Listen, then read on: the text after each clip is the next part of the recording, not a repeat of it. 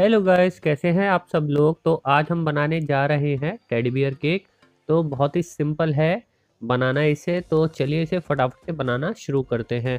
तो सात इंच के मोल्ड में हमने ये स्पॉन्ज हमारा बनाया है साढ़े तीन सौ ग्राम के प्रीमिक्स पाउडर से। क्योंकि हमें एक केक तो 1200 ग्राम का बनाना है, दूसरा इसके ईयर्स भी बनाने हैं और नोज़ भी बनानी है। तो इसलिए हमने स्पॉन्ज थोड़ा ज़्यादा मारा है इसके लिए। तो ये 12 इंच का बोर्ड है, इस पर हम बनाएँगे अपना केक। और ये केक हमें देना है स्ट्रॉबेरी प्लस फ्रूट फ्लेवर में। कस्टमर को काफ़ी पसंद आया था हमारा ये फ्लेवर, पिछली बार जब उन्होंने केक दिया था। तो उनकी कंटिन्यू यही डिमांड है कि उन्हें ये फ्लेवर बहुत अच्छा लगता है, इसलिए वो मोस्टली सारे केक इसी फ्लेवर में लेते हैं। चलिए कोई बात नहीं, वो उनकी मर्ज़ी है, वो एक ही फ्लेवर खाएँ।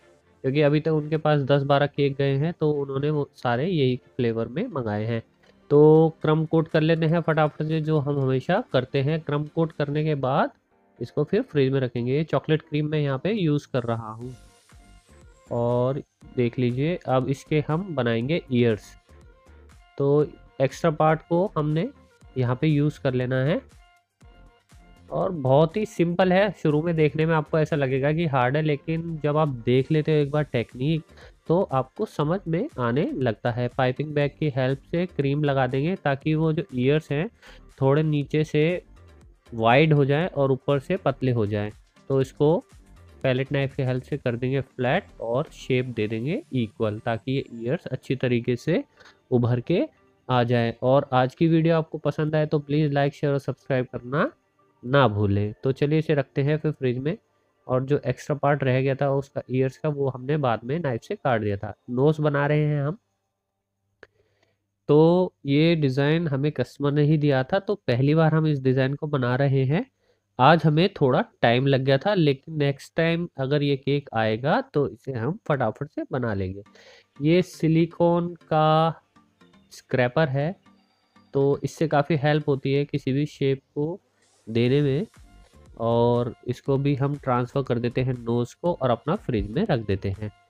तो ब्राउन जेल कलर में यूज़ कर रहा हूँ और चॉकलेट वगैरह इसमें नहीं डाली है हमने, नहीं तो चॉकलेट की वजह से कुछ और ही कलर बन जाता है।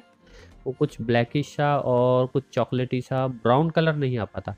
तो ये ग्रास नोज़ल है ग्रास नोज़ल हमने यूज़ किए हैं और अब हम बस अपना इसको पाइप करते जाएँगे। कई बार ऐसा होता है कि शुरू में जब आप ग्रास नोज़ल यूज़ करते हो तो आपकी पाइपिंग से अच्छे ग्रास नहीं निकलते हैं। इसके लिए आपकी जो क्रीम है, बहुत ज़्यादा हार्ड होनी चाहिए मतलब स्टिफ होनी चाहिए।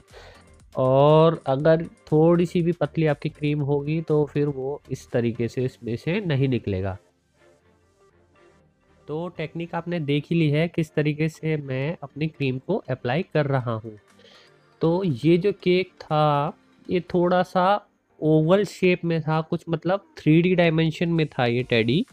तो अगर आप चाहते हैं फ्लैट फेस बनाना तो डायरेक्ट भी आप नोज़ल से इसको मतलब अगर आप पाइप करेंगे सीधा सीधा जिस तरीके से अभी मैं स्लैंट में कर रहा हूँ, अगर इसी को सीधा कर देंगे तो एक फेस बन जाएगा, फ्लैट फेस बन जाएगा टेडिकल लेकिन उसमें जो था थोड़ा सा ओवल फेस था तो इसलिए हम बार बार इस पर जहाँ हमें जैसा लग रहा है कि यहाँ से हमें थोड़ा मोटा करना है या इसकी शेप को थोड़ा और राउंड करना है तो इसलिए मैं एक्स्ट्रा क्रीम इस पर लगाए जा रहा हूँ। उस शेप को देने के लिए जो हम पे फ़ोटो में आई थी। तो देखिए, मैंने यहाँ पे दोबारा से फिर से इसके ऊपर नोज़ल वर्क करना शुरू किया है ताकि ऊपर से जो इसका फेस है कुछ ओवल जैसा हो जाए फ्लैट जैसा ना लगे। शुरू में आपको लग रहा होगा फ़ोटो देखिए कि कितना हार्ड केक है, लेकिन कुछ नहीं है। बस आपको पाइपिंग से इसको फिनिश करते जाना है। एक जगह देखिए हमारी भी क्रीम जो है ढंग से अब नहीं आ रही है, क्योंकि आज हमारा एसी नहीं चल रहा था, लाइट चली गई है और इन्वर्टर से बस अभी लाइट और फ़ैन चल रहा है। तो हाथ की गर्मी से देखिए कितना फ़र्क पड़ता है। टेम्परेचर अगर ठीक है आपके रूम का, जहाँ आप काम कर रहे हैं, ठंडा है तो बहुत हेल्प होती है, इसलिए मैं कहता हूँ। तो फॉन्डेंट की हमने आइज़ वगैरह कट करके रखी थी तो इसको हमने लगा दिया है। ये मैंने आपको दिखाई नहीं है, क्योंकि अब आप समझ गए हो किस तरीके से बनानी है। बहुत सिंपल है और ब्लैक आइज़ है, उसके ऊपर वाइट कलर के डॉट बनाए हैं, वो भी फॉन्डेंट से।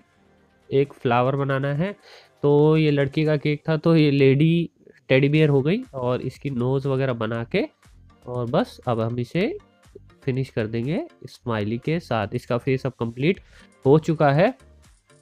तो आज की वीडियो बहुत ही सिंपल थी और आशा करता हूँ आज की वीडियो आपको पसंद ज़रूर आई होगी। अगर पसंद आए तो प्लीज़ लाइक शेयर और सब्सक्राइब ज़रूर करें। मिलते हैं फिर किसी नेक्स्ट वीडियो में नेक्स्ट टॉपिक के साथ। तब तक के लिए गुड बाय